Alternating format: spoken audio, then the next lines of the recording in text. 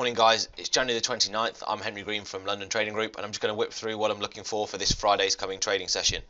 So just quickly to start, at 3.38 this morning, the Bank of Japan released its monetary policy statement, and in that they, they released new measures for their easing. So obviously easing hasn't worked. They've not created enough inflation. They're not going to hit their inflation target, and also potentially they're going to go into negative rates uh, next month. So something that Eurozone have done, they were sceptical to go into straight away, but they seem to be going into that now. Uh, and as a consequence, look what dollar yen's done. So we've kind of lifted from 118.60 all the way up to 121.30. Uh, So big old move in dollar yen. Uh, and more importantly, big a big move in the yen.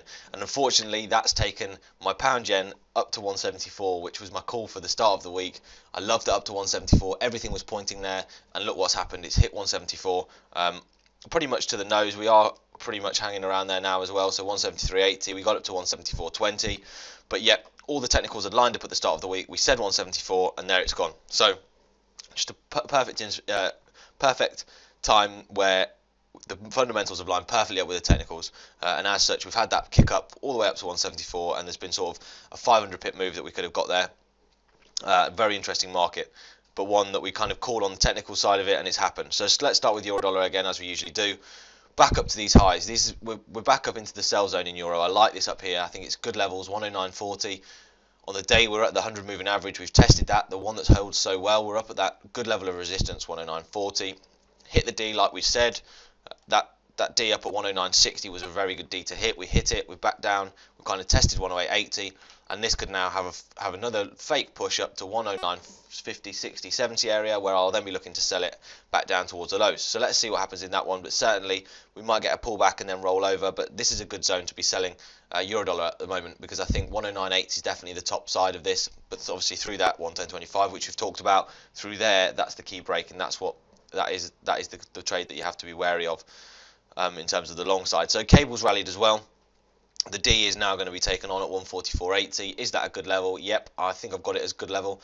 Yeah, 145 is my next one, my, my, uh, my next level up. Then we got 146.30, and through that, then we I, I would expect the D to be taken on, while the 38 in terms of the smaller, smaller time frames um, up at 147. So pretty interesting market in cable as well. I've just moved my past market angle out because we had that false break through it, so I've just pushed it out a bit, and now this is going to be acting as my support line. We are making these nice high highs and high lows, so this market's um, pulled back perfectly to the 38, and now I would expect this to go up and take uh, the D on, which also this dotted line is my DTR, which is just the daily trading range, guys. So something which you can uh, build for yourself if you go on Forex Peace Army um, find the average volatility in terms of pips for the last X amount of weeks, project that from the high and the low, and that will give you this uh, figure. So we've just had it programmed um, here, and it's something that's yeah pretty useful. So when those confluence levels that we've talked about uh, line up perfectly, that's where we think it's going. So again, wait a pullback, um, maybe buy through the highs in cable, um, but we're looking to take that up to sort of 144.80. I like that as a zone.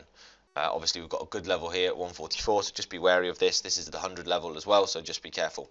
Dollar yen we've talked about, gone all the way up to 121.30. This is now overextended, and I won't be able to get in this because in terms of risk to reward, it's not worth my time being in this. So we have hit the D, and we have also pulled back to the 38. So we could get a first push up to maybe 122, and that's where I'd expect this to hold. But I need a I need a deeper swing to get into this.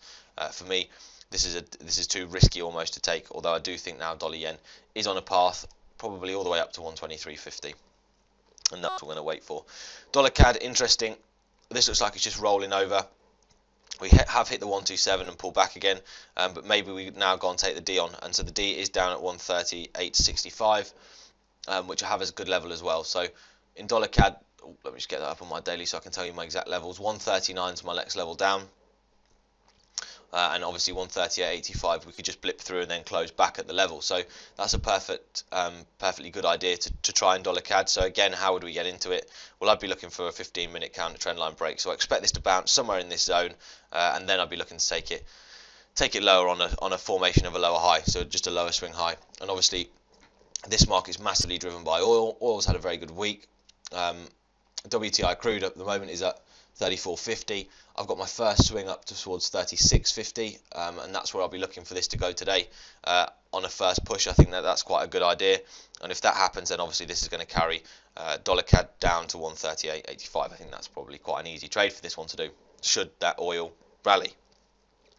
So Aussie's a good one as well. Uh, I like this. I like the movement in this one. We're kind of nicely moving. We've gone 118 now, pull back and now we're going to go again. So 171 90s in my zone. I've got that as a good level of there up there as well. So that's my D on my 60 minute chart. So if I just zoom in and show you.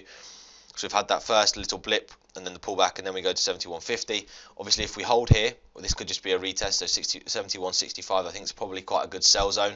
If you get into there and blip lower, then I think then you could come back and take on this 38 down at 70.30. So if you get that down there, there's good buys down there, and that's certainly a good buy zone, and will be in my buy zone um, in terms of my watch charts. I'll be looking to buy that. Should that get down back down to 70.30. Obviously, if it hits the D, it hits the D, and I've missed that trade, but no, uh, no big shake in that in terms of that. Kiwi, an interesting one as well. Just sideways, we're now back at the top of the range as I said to you before, I like 66.30 as a level. That's actually come down a bit. I like a bit lower now. So maybe 66.60, 66.70. So where we're running into that past market angle in terms of the day and also my moving averages that I've got in, uh, which have been holding very well as well. So this one's just currently a sideways market. We'll just show you the screen. We're kind of just at the top here. So 66, this sort of 66, 65 area. Uh, 65, 65 area, sorry, as you can see, we've had had these tops formed, and I think this could just roll over. So again, a lower 15-minute high would, would I think would um, would take this one lower, and then you could see it could sell it through the low. So that's Kiwi. Um, so what are we looking at overall? So maybe we do have a bit of a rally this morning in the euro, and then we roll over. Cable, I think maybe has a pullback and goes. Dollar yen looks like it just wants to continue, but I can't get into that at the moment. Dollar CAD looks like we have got a bit more room to the downside, especially if um, especially if WTI rallies. Uh, I think that's a good good trade down to 138.38. I think we talked 138.80. I think we talked about.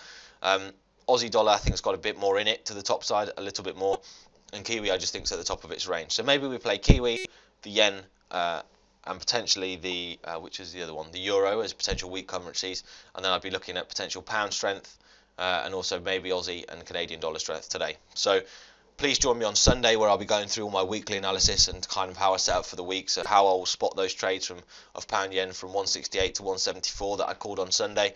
Um, so come and join me for those. They should be interesting. I kind of go through more how I start to chart. Uh, but they'll be they'll be pretty interesting. And click subscribe for further videos. I'm going to go over to my vir the virtual floor now, where again you can find a link in the description. So come and join me there.